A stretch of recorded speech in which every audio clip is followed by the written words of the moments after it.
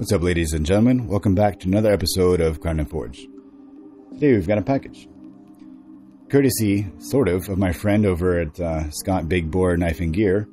He turned me on to this company after complaining I couldn't find a uh, Lynch Northwest that was in stock. I got tired of waiting for Lynch Northwest to get it together, put some supply out there, so this is Vice Hardware. This is a pry bar. I haven't seen it yet. I haven't opened it yet or anything like that. I just saw it online. and I thought, damn, that's a cool looking, cool looking gizmo. So here we go.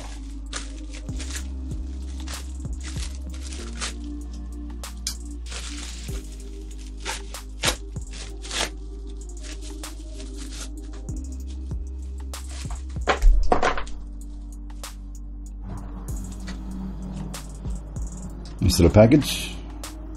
It's made in the USA, as you can see. We got here? Hustle. Fucking right, man. That's me all day. Putting that bad boy on. Hustle. Dig it.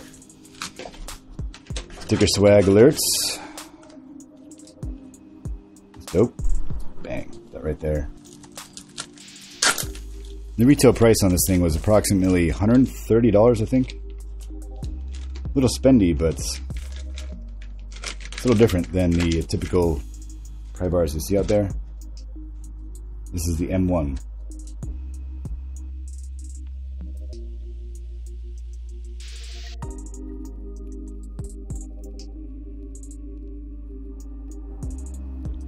that is nice. Got a good feel to it. The ANO on there.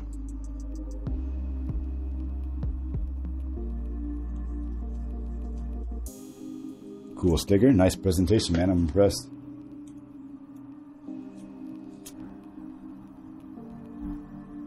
Man. This is a sturdy thing. It's a sturdy, uh... You hear that?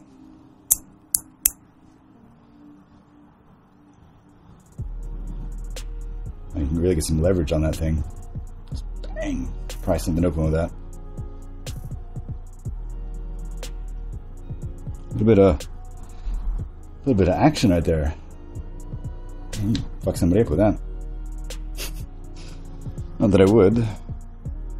Some nice jimping on the back here. That's really cool, man.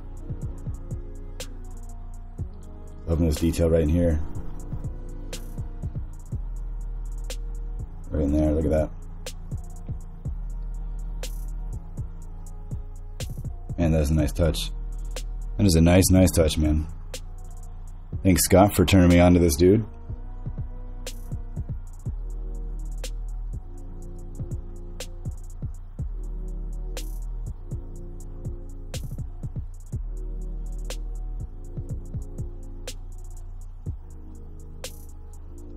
And that just feels good. It's unique too. I mean, you got this hook back here.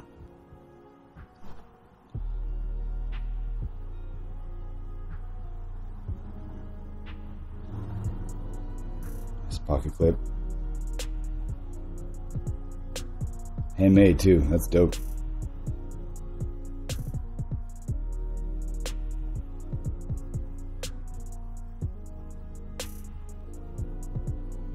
Man, Vice has got it going on. For a few more bucks than a Lynch Northwest is. I mean, they say they go for like 80 bucks. You can't ever find one in stock. I've been subscribed to that email alert list for six months and I haven't gotten a single email. But for 50 bucks more, you can have this in your mailbox in just a few weeks.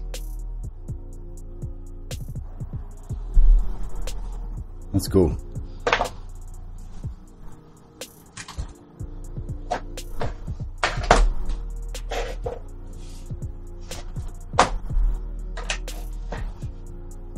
See how much it weighs. 1.22. That's super light. Your measurement on it. Some of you guys probably want to see that.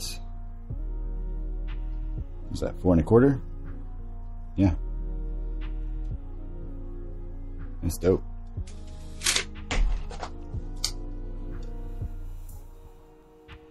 God dang, that's so light. need a pry bar and pry bar and a bug out. 3.10 ounces.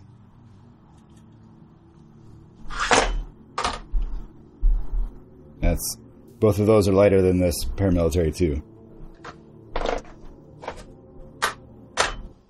3.11, 10, 6, 8, 7.